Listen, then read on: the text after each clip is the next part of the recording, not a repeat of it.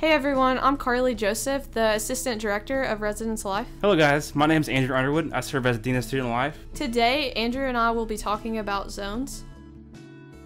So zones, we're going to start off with the, the basic definition uh, that we've developed. A zone is a section of a residence hall's rooms and residence that is designated to a specific RA to impact in a positive way. The RA is not limited to, but is directly responsible for certain aspects when it comes to their zones. So to break that down a little bit more, what it looks like if you're, for example, if you're in Hutton and you are an RA and your room is uh, 114, the way to be broken down is you'd be responsible for, or your zone would be the residents in your suite 110 and also the suite right next to you 120. So there there's about 16 residents in each zone in a Hutton or a Kleist. But I want to break it down a little bit more to say that that's not just who you're limited to and who you serve or impact, but it's who you're directly responsible for.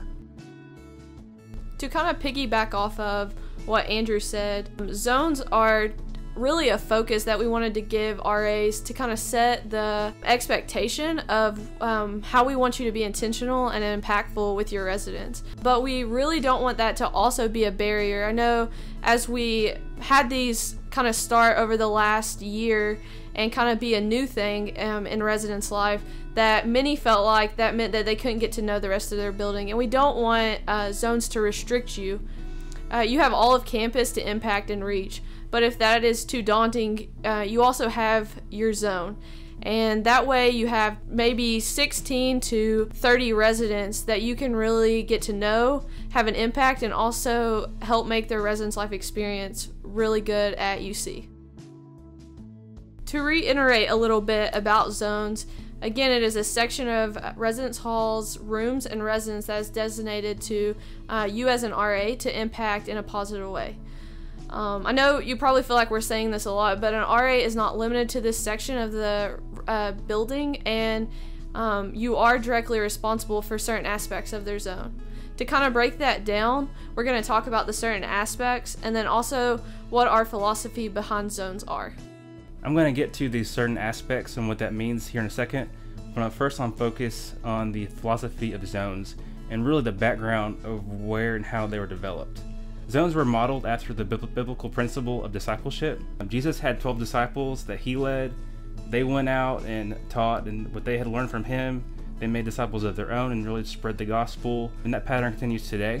Um, likewise, Carly and I lead the team of RDs, and we share information and focus on what we want to do with the program, information that we need shared to RAs and the students. Uh, they go back to their buildings, share share information with you guys and uh, we take it from from them and you guys need to take it on to your students and that's where kind of comes from us passing along the information as far as being intentional with residents that's the other aspect of zones is we want you to be intentional and seek out the residents with the information that we're sharing this is why we designate zones for two main reasons one it allows you to focus on an achievable goal zones help make it easy for you because it gives you a specific area to focus on now, like we said before, that doesn't mean you can forget all of your other residents in the building. No. But could you imagine trying to pursue everyone in your building? For some of you guys, that's 200 plus people, and that's just really impossible. That'd be like asking one RD to be the RD of all 70 Res Life staff members. It's just not possible, and very little would be accomplished. So that's so that's why we try to spread it out so every RA has like we said, a zone to target on. The second reason is we want to go want to ensure that no resident goes without being pursued. Every RA um, has a zone, and if every RA does their job and seeks out their zone, then not a single resident would go without someone on campus being intentional with them, seeking them out to share information, to see how their day is going, just to say hi, to know their name. Those are all reasons why we have zones and a, really a positive way that you can impact the students we have on campus. If every RA does their job and seeks out their zone, then not a single resident would go without someone on campus being intentional with them.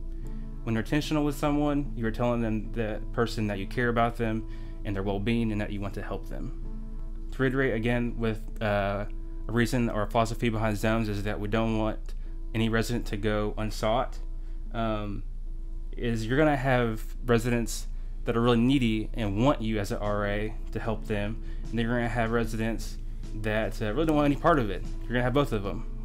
Um, but that's part of you as an RA, your leadership skills, you have to develop that and support both parties of students that you're going to have and how to manage and balance both type of residents. To move on from the philosophies, uh, we're going to hit on the certain aspects. So these are certain aspects that you are directly responsible for. And so after going through the philosophies, you should be able to figure out that the RA's ultimate job as far as the zones go is that you're responsible for knowing the residents and you're responsible for sharing information to those residents. Now there's we're gonna get into it as far as the examples here in a second, um, but there's a there's a balance that we're gonna talk about also with set expectations versus uh, challenge by choice. Again, this goes back to attitude and effort that you have with your zone, as you can make it as minimal and surface level as you want, or if you choose to be really intentional and go into depth with these students, you could have a greater impact in their lives and in their time on campus. Um, but some clear expectations we're going to set are uh, knowing the residents by name. Uh, you have zone meetings or one-on-ones with them you're going to administer roommate and suite mate agreements at the beginning of each semester. Uh, you have to share department initiatives, information that we need to get out, and then you're also responsible for fire and severe weather drills. So, to kind of break that down a little bit about knowing your residents, we wanted to give you some examples of what an expectation is versus a challenge. For instance, an expectation would be to know a name of everyone in or to know all the names of everyone in your zone. Uh, but we would really like you to be challenged to know the entire building. As well as an expectation is to say hello anytime you see a student from your zone. But we challenge you to invite someone from your zone to dinner once a week. Another example would be um, to plan a program for the building, but we challenge you to survey your zone on what they'd like to see in the residence hall. And we kind of saw this a little bit last year. It was really cool to see some of the RAs who took this initiative and were really challenged uh, to get to know their zone, to see if I know one person gave out um, a survey to see if they were being annoying to their zone and what that looked like. And so we challenge you to think outside the box. We don't want this to restrict you to where you feel like you can only do the expectations, but we're challenging you to go above and beyond and do something unique and creative that's really going to matter to your zone that you're designated to. So, zone meetings are something that happens at the beginning of the semester. Um, Oh, they're also referred to one, uh, as one on ones occasionally. But towards the beginning of each semester, you as an RA are responsible to meet individually or as a roommate pair with the people in your zone to review policies that are related to your building, but then also all campus. And the really importance of importance of this is because this could be the first maybe only time that residents hear certain policies. It could be anywhere from uh, certain parking policies for the building to them knowing that we are an alcohol-free campus and that it's not allowed in the residence halls. So it's really important that that information is covered uh, with each student um, so they're aware of all the policies that we uh, can enforce. It also helps them because you're serving the residents so they don't get in trouble. They could just innocently not know a policy and take their girlfriend up to their room not knowing that it's against policy. So it's really important that you uh, review all those with them. Another aspect of it is that the RDs and USRA will work together to document to make sure that each uh, resident on campus has participated in a zone meeting. Another aspect of your zone meetings is also to administer your roommate and suite mate agreements. Obviously, if you live in a community style residence hall, you will only have your roommate agreements. But for those of you that are an RA in a suite mate or in a suite style, hall, you will have suite mate agreements as well. As an RA, you're going to administer these to your roommate, suite mates within your zone, and within that, you're going to be able to walk through the form with them. Um, for instance, there's going to be things about how they're going to deal with conflict, how they're going to cohabitate um, together, and how they're going to compromise on things if the issues do arise. After the agreements have been issued with the residents, the RA will make sure that the residents sign them. We don't want them to just sign them immediately. We want them to really think out this, talk through with their suite mates, and you, as the RA within that zone, can help kind of facilitate that. Um, these agreements, especially this upcoming year, are very important uh, because we will always refer back to this before any room change is considered. So we want to make sure that they really know how important these are. We also want you to know that you may be, if there is an issue and they do want to change rooms, that we may also talk to you about how they said they were going to resolve. Because this also, for those of you that live in suites, this also could be something going on within your suite. And we want you to know kind of what's going on and be really up to date with how to help kind of facilitate these issues um, before they have to result in a room change. Part of our responsibility at the university is to be able to help people resolve conflict in a good way, and these agreements really help facilitate that.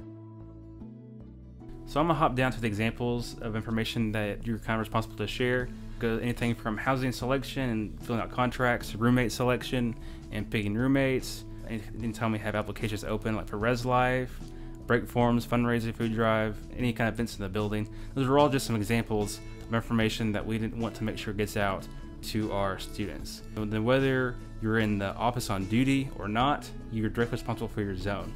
So kind of to talk through like an example, let's say that you are on duty. The, the stuff that everyone's going to do for their building just because you're an RA is you're going to post memos about stuff. You're going to stop people as they walk through the lobby and talk to them about what's going on. Um, you're expected to talk to people in the hallways as you're walking halls and you see someone in the hallway. Just tell them, tell them about an event or ask them if they filled out their contract yet. Just kind of the normal as you're doing your job. You see people, you're to talk to them.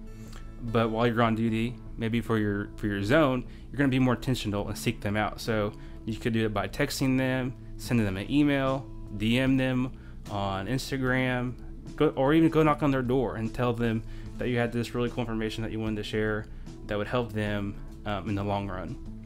Uh, let's say then it's on your night off. So either you just worked and it's the next night, and you know that you didn't talk to this one resident in your zone, uh, but you always see them when you're brushing your teeth at night. Well, maybe be a little more intentional that you go brush your teeth that night and tell them about whatever information that you need to share with them. So even if you're not working, it's still your responsibility as you go throughout your day to share things with your zone. And so that's kind of a basic example about sharing with your zone whether you're on or off duty. Now I'm not saying that it's your your life's purpose to make sure that everything is shared, but it is expected that uh, you try to you try your best and hardest to reach these uh, residents in your zone. Another important way that you'll utilize your zone is with fire drills and inclement weather. RAs are responsible for getting the residents in their zone to the right location for fire drills in severe weather situations. If the RAs are not in the building, other RAs must be able to adapt and cover other zones. It's not to, if your co RA is not there, it's not to just be like, oh, well, their zone's not going to get out of the building or whatever. You definitely need to be able to adapt within that. Also, uh, each residence hall's severe weather and fire drills are different, so the specifics of your residence hall emergency plan will be covered during NC orientation. Thank you all for listening to our uh, presentation on zones, and we are looking forward to seeing you in the fall. Uh, please make sure to go over and do your discussion post on zones.